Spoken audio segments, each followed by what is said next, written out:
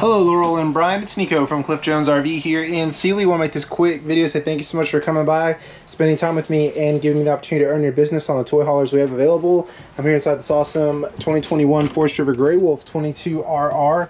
Uh, with the way the numbers work out, you are able to get a bigger camper for less than the small one, which doesn't happen too, too often. This one does have the uh, walk around bathroom so you can access it from the master uh, and from outside here big glass door shower. Here is the skylight. This one is able to sleep more people and offer more seating during the day and a little bit bigger garage area.